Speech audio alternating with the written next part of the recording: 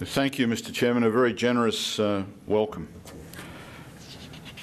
Some uh, years ago, ladies and gentlemen, uh, Dr Henry Kissinger made an observation which I still believe has uh, a degree of validity now. He made the uh, comment that there were three extraordinary changes taking place in the global environment, political and economic environment. And these were the uh, European federal construct, what the EU was embarked upon, what China was embarked upon in terms of emerging as a very serious global player, and what was happening in the Middle East as a consequence of the growth of Islamic fundamentalism. Now, it's true that the uh, EU has hit hurdles, no question about that. Nonetheless, I think his observation about the EU and its future remains valid, though perhaps of less consequence than we might have thought a decade ago. Islamic fundamentalism is still there, but is uh, really a secondary or even tertiary threat in terms of non-state actors and, uh, and terrorism. It's been really replaced by the Arab Spring, the consequences which are working their way through Egyptian uh, politics and through the appalling circumstances in, in Syria. A long way to run, but the Arab Spring is real. And of course, in our own region, China has emerged as a major global player of consequence. But where are we now? Raymond Chandler was a, uh, a great uh, author. This is one of his best books. And I think it's the best way to describe the position which we currently occupy. We are in a period which is best termed the long goodbye. The long goodbye to the boom and the long goodbye to the global financial crisis. A long goodbye to speculation and, uh, and to easy money and hopefully a long goodbye to the consequences of the meltdown. It's also a long goodbye, ladies and gentlemen, to the politics of the New Deal, which has really characterised Western democratic endeavour since Franklin Roosevelt was elected in 1932 and convinced Americans, quite appropriately in my view, that government intervention in the wake of an economic crisis was the appropriate uh, way to go. Now, it was Theodore Sorensen, the superb speechwriter for President John F. Kennedy, who once declared that leadership was the quality in shortest supply in politics and government. No uh, question about that the current American uh, presidential election, in some respects, uh, would suggest that uh, Sorensen was right, particularly if you look at the alternative Republican Party contenders for the uh, nomination of their party for the presidency itself. I've no doubt that uh, both uh, Barack Obama, as he's demonstrated, and Mitt Romney in his previous political and business incarnations is more than capable of being the first magistrate of the American Republic. But leadership is in truly short supply in most Western uh, democracies. Bill Clinton used to say that being President of the United States was a little bit like running a cemetery. There were lots of people under you, but no one was really listening. now, people have been listening, ladies and gentlemen, the last several months in the United States, as, uh, as everyone's aware. Their uh, presidential election is a global ballot. It's just that the franchise is restricted to citizens of the United States. Spare a thought this morning for the uh, citizens of the city of Las Vegas. It's estimated that since the 1st of June, the worthy citizens of Vegas have been bombarded with 71,000 political commercials. And that, of course, is uh, because of Nevada's key status as a battleground state.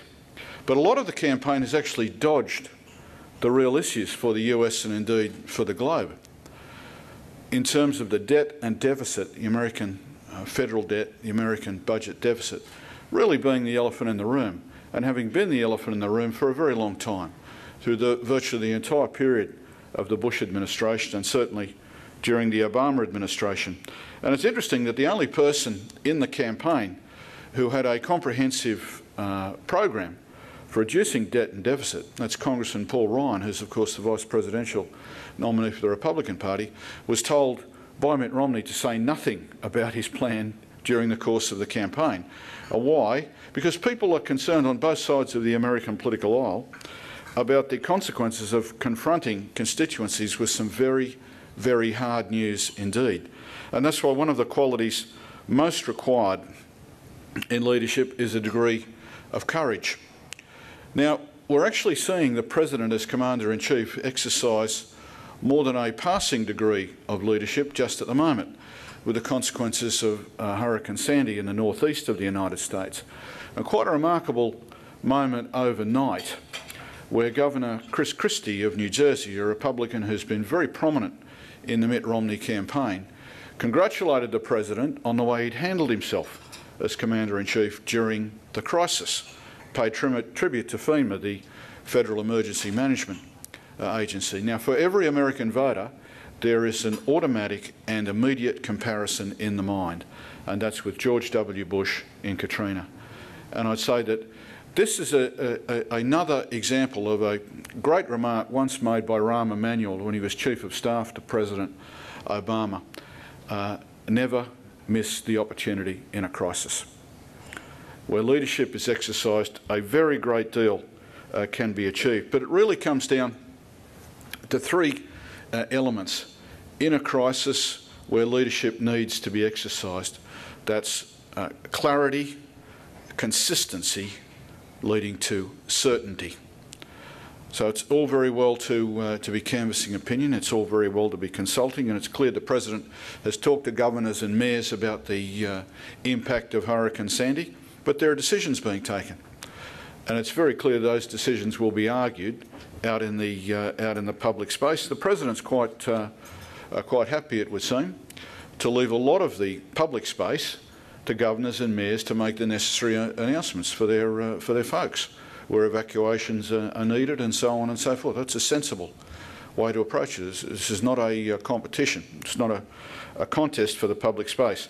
But I think we'll, we'll see as a consequence of, uh, of Hurricane Sandy and the, and the President exercising real uh, uh, power as Commander-in-Chief. While politics is off the front page in the United States for the moment, someone was making this comment to me earlier, the political consequences of President Obama's performance are going to be quite profound, well beyond the uh, states of the, the northeast. This is a, uh, another example of massive change that's occurring in, in, our world. The European federal prospect I mentioned earlier now, the hurdles that the European Union is having to overcome, given the meltdown in public finances and given the recession, which has overwhelmed most of the continent. And now, again in crisis, there's some humour always produced, always produced. Uh, the other morning in Sydney over breakfast, a Spanish banker was telling me a joke. I, I, thought it was very encouraging that a Spanish banker could still be telling jokes. in, a, in a burst of pan-European uh, sentiment, he was saying the Spanish banks are fine, you just have to worry about those Italian banks. Uh, he, um, he said it's, uh, it's afternoon uh, in uh, Berlin, it's a Friday afternoon, and the Chancellor comes back from a very hard day's work, and she says to her husband, "Look, I've really." Uh, I've really had this. I mean, look at all the German papers. These editorials are critical of me, not to mention the French and the British. I have nothing but opponents uh, uh, out there. Well, let's, let's have a break. And uh, she turned to her chief of staff and said, uh, uh, alert the Luftwaffe, we're, uh, we're leaving for the weekend. My husband and I are just packing some overnight bags. We'll be ready within the hour and off they uh, uh, go out into the Aegean, fly out into the Aegean to a remote Greek island. And uh, uh they look down, the island looks uh, uh, quite idyllic. There's some beautiful beaches, unspoiled, some vineyards, a couple of small villages. They duly land and the jet taxis to the end of the runway and there's a somewhat run-down customs house, the Greek flags hanging limply in the breeze, and out comes the customs agent. It's apparently he hasn't had, had, much traffic recently, but he's got his clipboard. And as the Chancellor comes down from her plane, the customs agent approaches her and says, uh, Good afternoon, name? And the Chancellor said, Angela Merkel. And he said to her, Occupation? No, she said, I'm only here for a couple of days. Now, it's always interesting to think what kind of, uh, uh of, uh, of humour is at work in, uh, in, uh, in Europe at the moment. I, I that that was a joke. These days you have, you, uh, you have to underline all the political jokes as, as being such. I actually believe that the European Union is, is a good deal more robust than some are suggesting. Jean Monnet, who was the founding uh, genius behind the ideal of uh, the, the, common market, the coal and steel community, uh, used to be uh, fond of saying that uh, nothing really begins without uh, men and women, but nothing endures without structures. And the key point about the EU uh, for the future is a political construct is now going to have sinews that are financial and budgetary, and a much stronger, uh, much better governed banking system. All of that's emerging now. There will be arguments in the UK about how closely the UK will be involved. The French and the Germans in, are endeavouring still to hold their uh, particular relationship together. There'll be some disagreements with people uh, in Eastern Europe from time to time, and Spain and, uh, and Italy will uh, continue to be under some pressure. But I think the EU will muddle through. None uh, uh, the less, is it, is it groundbreaking in terms of ideas? Yes. 150 years of European civil war from 1791 to 1945 produced the EU, from Bonaparte to, to Hitler. And it's astonishing the consequence of having a peaceful construct that endeavours to work together. So while we're looking at a, yet another crisis meeting in Strasbourg or, or so on, just remember the alternative of 100 years ago. And that's really been a, a consequence of uh, leadership that's been exercised. And while we'd like to see perhaps bolder steps taken, I think the EU will emerge in fundamentally uh, sound uh, order. But in terms of really serious changes that are taking place, particularly in our region, we need only look uh, to the People's uh, Republic of, uh, of China. And I was thinking in terms of, uh, of, of leadership the other Saturday. I'm just out for a constitutional walk with the, uh, with the family dog in the local park in Sydney. Cars parked down on the water, and there was a massive crowd, a massive crowd of, of Chinese Australians gathered. And it was a, a festival day. And what was the festival day? They were celebrating the 40th anniversary of relations between Australia and the PRC.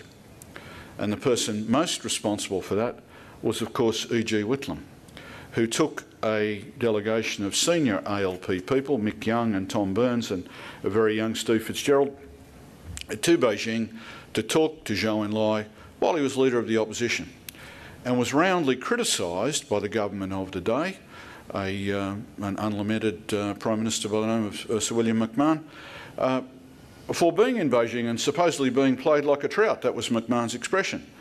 It was McMahon who had some explaining to do when it was revealed a week or so later that Dr. Henry Kissinger had been in Beijing almost at the same time, preparing the way for Richard Nixon's uh, visit as President of the United States prior to the reopening of diplomatic relations between the PRC uh, and, the, uh, and the US. But it took real courage on Whitlam's part to do what fundamentally he knew was right and was in the national interest.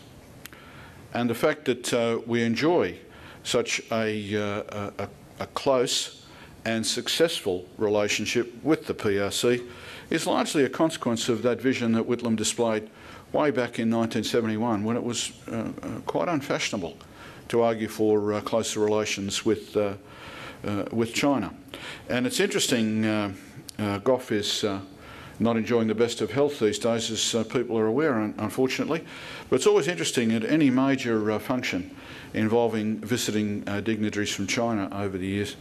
Mr Whitlam was really the first person that people from the delegations sought out when he was in the, uh, in the audience. And that, that took very, very uh, real uh, courage at the, uh, at the time. The emergence of China, enormous economic change, as people are aware, enormous strategic challenges, particularly in the region, but, uh, but globally. We're seeing one of the extraordinary shifts we're really seeing the end of the uh, uh, impact of the British Industrial Revolution and its replacement by the emergence of China, India, the other countries of the region as significant industrial and technological players.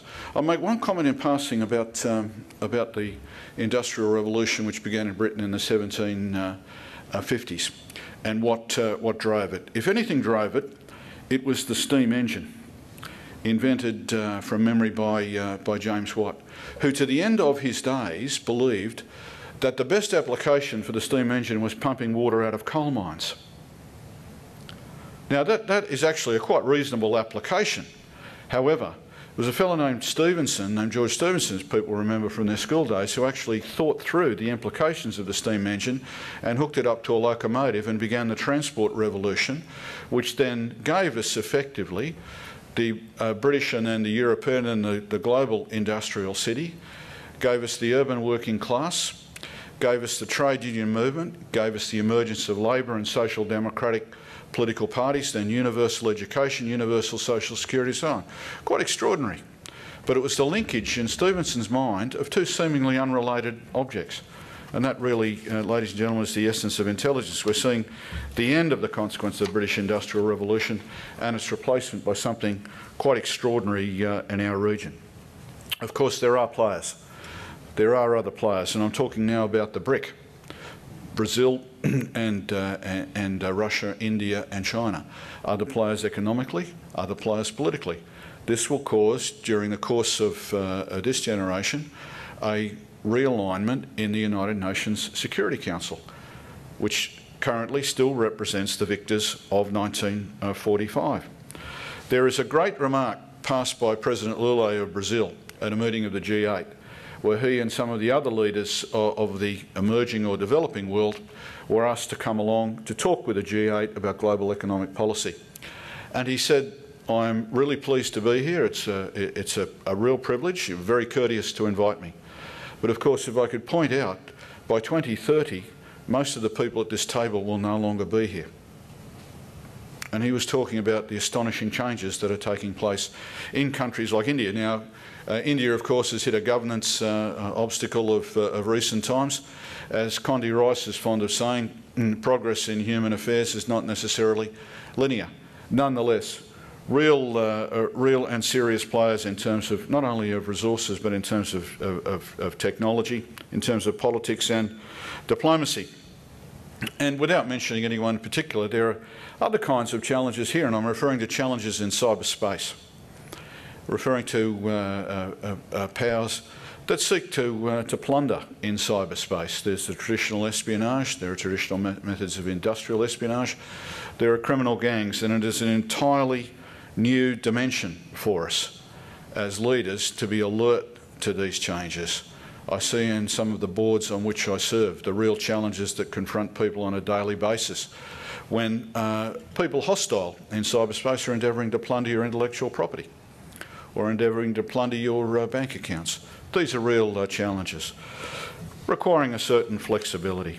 I'm going to finish, always on an upbeat uh, note, by just pointing to the fact that we should be confident about the uh, future. We've always been enmeshed in the uh, global system from the time that Arthur Phillip sent from the infant uh, colony to South Africa for merinos. We effectively became a global economic player. When the American brig Philadelphia came up Sydney Harbour in 1792 with a cargo of meat for the infant uh, colony, when Bill Clinton spoke at the joint session of Parliament, he described the American meat as having been well cured by a six months voyage across the Pacific Ocean. But nonetheless, we had become a global trader very early on. Think of the changes, ladies and gentlemen, that have overtaken Sydney the last decade since the Olympic Games. Sydney emerged as a global city as a consequence of the Olympic Games. My favourite uh, story about the Sydney Olympics is one told by Vince Sorrenti, who said uh, that a member of the IOC was complimenting him on the hospitality shown him while he was in Sydney, particularly down at the Park Hyatt Hotel, where the bathroom towels were so fluffy he could hardly get his suitcase closed. I'm,